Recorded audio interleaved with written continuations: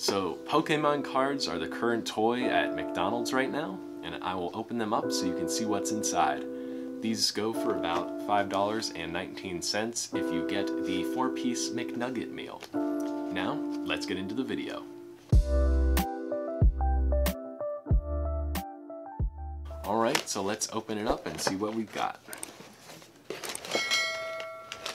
Alright, pull out the card pack. Now these card packs will come with four Pokemon cards. The possible Pokemon cards that you can get will be all starter Pokemon, including Pikachu. If you ever played the Pokemon Yellow games, then you would know that you start with a Pikachu. In these packs, three of them will not be holographic and one will be holographic. So, comes with this cool container here. You can actually fold out into a deck box if you would like to. I made a mistake. The deck box actually comes inside of the outer package. I'll take it off here. You take out the pack. Here's the deck box. A smaller box so you can put tokens in and dice. I realized afterwards that the red part is not for dice and other items. It is actually the top part of the deck box. And a coloring sheet. Put that to the side. And now here is the four card pack. Let's open it up and see what's inside. Now, unlike a regular Pokemon pack, this one is paper, so it doesn't open quite as well. But that's okay. Alright, so here we have it. Now, for some reason they start with the holographic in the front, but to make it more suspenseful, I will put the holographic in the back. So here we have a Charmander, Fennekin,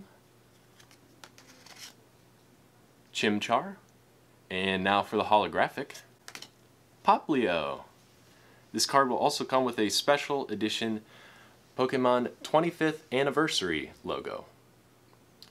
The holographic part is also unique to only McDonald's. So cards you would get if you had a Popplio card that was holographic, it would not have this type of holographic print to it. Alright, I'll put that to the side and open up the other one. Alright, here's the card pack in here. Again with the Pikachu logo on the front. Oops. Open it up, see what's inside. The same things as always, and I believe the deck box and token box are the same color. Afterwards, I realized that the boxes can have different starter Pokemon on them, as you can see in this video here. Regardless of what you get. As well as the same, it looks like the same three water starters that you can color in. I realized afterwards that there can be different coloring activities included. Lay that to the side. And now open up the four card pack. Once again, I will have to put the holographic in the back because they leave it right in the front. It spoils it. Lay this to the side. Holographic in the back. Here we go. Piplup. Sobble. Scorbunny. And now for the holographic, Charmander. So there you have it all the starter Pokemon can come in this set. There are 50 different possibilities because any of the 25 starters can be holographic. I'm sure after all these Happy Meals, you will eventually get sick of them. If you want to get just the packs, you can actually purchase them from a McDonald's.